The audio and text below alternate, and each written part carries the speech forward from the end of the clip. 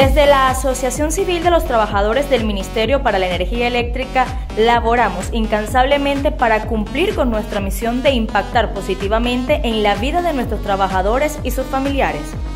Este año hemos ido poco a poco poniendo nuestro granito de arena. Hemos logrado realizar más de 11 jornadas dirigidas a la atención médica y de alimentación, donde hemos logrado alcanzar a más de 2 millones de trabajadores.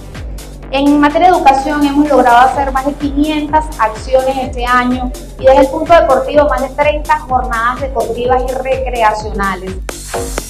Iniciamos este año también un plan de alimentación de merienda para los hijos de nuestros trabajadores donde mensualmente le damos una cajita con merienda para que puedan tener para su etapa escolar, donde se benefician más de 19 mil niños y niñas que son hijos de nuestra fuerza trabajadora. También inauguramos los comedores en nuestros preescolares.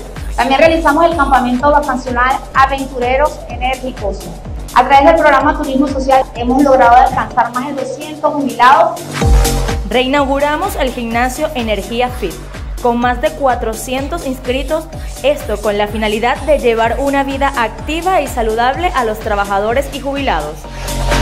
Fueron entregadas 200 soluciones habitacionales a través de la Gran Misión Vivienda Venezuela, promoviendo la línea estratégica número uno del Sistema Eléctrico Nacional referida a la prevención y protección de la fuerza trabajadora y su núcleo familiar.